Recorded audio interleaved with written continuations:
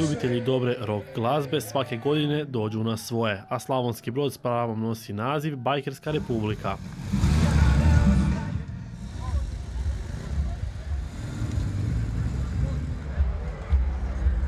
Na poloju od 11. do 13. svibnja ponovno će se dobro provesti tisuće bajkera i onih koji se tako osjećaju, pa barem na jedan vikend. Mogu reći da smo i ove godine uspjeli eh, skupiti jako kvalitetan program zabavni, a tako i sportski, koji se neće puno razlikovati od proteklih godina. Situacija nam je sve teža što se tiče same organizacije bendova, jer više nema benda iz ovog dijela Europe koji nije svirao kod nas. Ove godine smo uspjeli također skupiti kvalitetan program.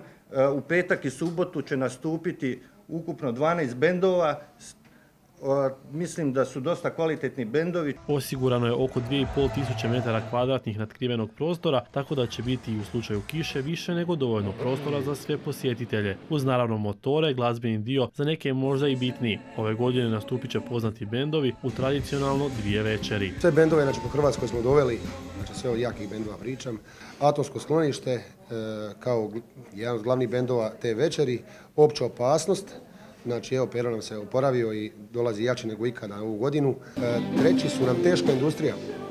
Znači, evo, prije, jutro sam se čuo sa Ivicom, znači imam jednu ekskluzivu, e, izašla je nova pjesma, e, ne mogu, sve mogu lažima. Aerodrom, znači, Pađeni kompanija, znači, to smo se stvarno dogovorili s njima, prijatelji, oni su, u, u, u što se reklo, u jednom dilu svi zajedno došli, stvarno su nam izašli u susret. Poslije aerodroma nam Brkovi stižu, znači Šemso i kompanija, oni sad baš nastupaju nešto, kaže, ovo će se vidjeti ove godine što se dugo nije vidjelo nigdje. Tu su i brodski divlji dječak, novogradiški rokeri, riječki Unimogs, Tino Jelušić, redoviti gosti The Trio, te na kraju Pulse Rock Band. Subotnji je dan ponovno rezerviran za utrku ubrzanja na zapadnoj veznoj cesti. Utrka je 12.5.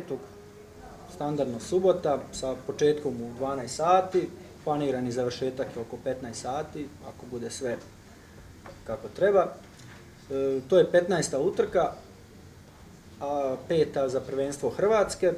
Biće zabav i adrenalina kao i svake godine. Popodne je defile centrom grada. Da bi sve prošlo u redu, od samoga početka partner motoklubu Brod je policijska uprava Brodsko-Posavska. Se pozivaju na oprez i poštivanje prometnih pravila. I ove godine ćemo posebnu pozornost posvetiti upravo na divljanje po gradu, pri dolasku, a tako i odlasku sa ove manifestacije.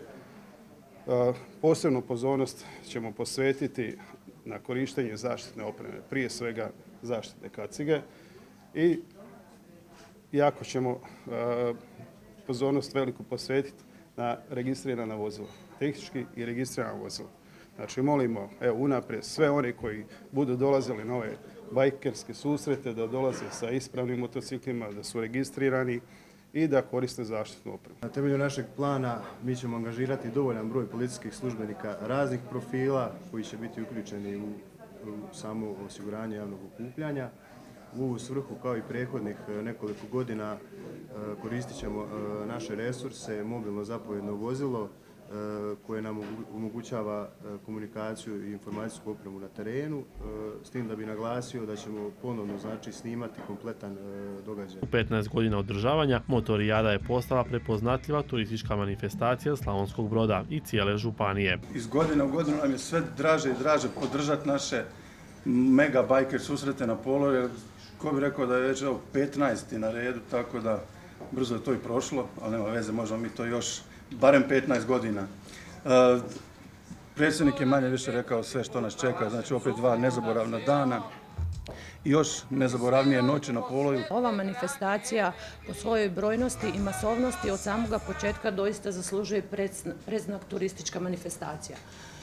Naime, naša Slavonija nema jednostranu turističku ponudu, ona nema samo sunce i more, ali je zato bogata sa raznim atrakcijama, aktivnostima, prije svega manifestacijama. Po meni je na našem popisu top manifestacija u Brodsko-Posavskoj županiji na mjestu broj 1 ovaj mega bajker susret. Sve je dakle spremno za najveći bajkerski parti u ovom dijelu svijeta. Vremenska prognoza najavljuje dobro vrijeme, a Polo je i ove godine spreman za prihvat desetak i više tisuća ljubitelja motora, brzine, rock glazbe i odlične zabave.